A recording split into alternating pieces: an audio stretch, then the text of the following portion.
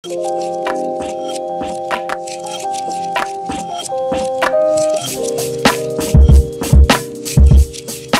ben Jamie van Heijen en we staan hier midden in mijn restaurant. Ik koos al Nike's uit voordat ik kon lezen. En dat vonden mijn ouders toen nog heel erg grappig en schattig. Dat ik altijd gerichte schoenen koos. Omdat ze zeker wisten dat ik het prijskaartje nog niet kon lezen. En ook het merkje niet. Op een gegeven moment waren ze ervan overtuigd dat ik wel zeker wist dat ik steeds de duurste uitzocht. Toen mocht het niet meer.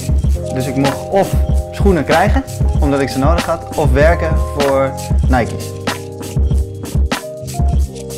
Ja, ik wilde een hele relaxte sfeer creëren en ik dacht dat iedereen zich thuis zou voelen in een bistro. Dus het is een beetje het interieur van een bistro geworden, alleen dan op mijn eigen manier. Ik heb heel veel SB'tjes en dan is er een dunk die op een apron van een chef is gebaseerd. Wat ook echt een van mijn favoriete chefs is in New York, Momofuku. Ja, en als ik dat zie, dan denk ik wel, oké, dit wil ik ook ooit doen in mijn leven. Ik vind het wel het leukst om dingen te creëren, herinneringen op een bord te krijgen, eh, dingen die inspireren.